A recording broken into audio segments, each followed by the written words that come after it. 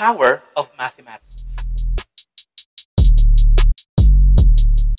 The power of mathematics can be embodied by answering these questions. What is mathematics? Where is mathematics? What is mathematics for? What is mathematics all about? How is mathematics done? Who uses mathematics? Why is mathematics important to know or learn? According to Ian Stewart, mathematics developed by human mind and culture is a formal system of thought for recognizing, classifying, and exploiting patterns. It is important to note that Ian Stewart is an emeritus professor of the University of Warwick. He has written various books relating to mathematics in the modern world. One of the most important areas where symmetry I think is, is very interesting is symmetries in the natural world. The key word here is the word pattern. A pattern is described to be regular, repeating, or recurring forms of designs.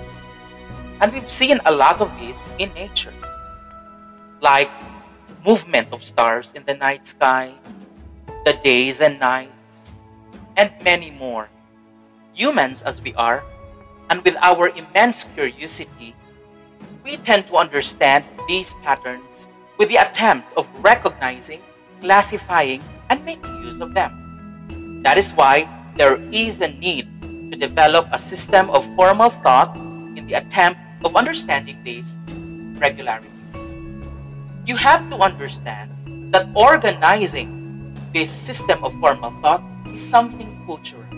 For example, consistent flooding of the Nile River during the ancient civilization had led them to discover one of the earliest mathematics activities, that is measurement and land survey. Where is mathematics? Ay sir, naas sa libro. Or ma'am, naas notebook sa maestras mathematics. Or naas sa utok sa mathematician. Well, these remarks could be humorous, but you have to understand that in everything that we do is something mathematical We make predictions. We budget our resources, our movement, everything practically. Mathematics can also be found in nature, just like the Fibonacci numbers or in the arts, just like the golden ratio, which you will learn in the next video. And this golden ratio is evident in the paintings of Leonardo da Vinci, which is the Mona Lisa. This can also be found in music, like rhythm and melody. Again, the Fibonacci sequence is the secret of musical greatness. Mathematics can also be found in medicine. It is interesting to note that the golden ratio is the basis of the doctors in conducting reconstructive surgeries. Kung mga anak kay nong gusto magpa-surgery, then golden ratio saves the day. Mathematics can also be found in communities, and that is very obvious. There are researchers and scientists who use mathematics conduct of their fields of specialization with one common goal, which is to better our ways of life. Another localized scenario is that your respective LGU officials use statistical data in governing respective communities in the distribution of relief goods in this pandemic time. Distribution sa ayuda ni Mayor. Etc., etc., etc. Practically, math is everywhere. What is mathematics for? Mathematics is useful in making conclusions. Have you ever wondered why there are successful trips in outer space? One major element in the success of any space mission is the rigid and careful mathematical calculations, which in turn are conclusive and fixed. And that is mathematical power. Mathematics is also for predictions of the events of the world. One classic example of this power of mathematics is this. How in the world this phenomenon is predicted? How do they know that an asteroid, comet, or meteorite is approaching the Earth? Simply mathematics. Because it's used to describe the natural order and the occurrences of the universe. Mathematics is used to organize patterns, regularities, and irregularities as well. Mathematics helps to control weather.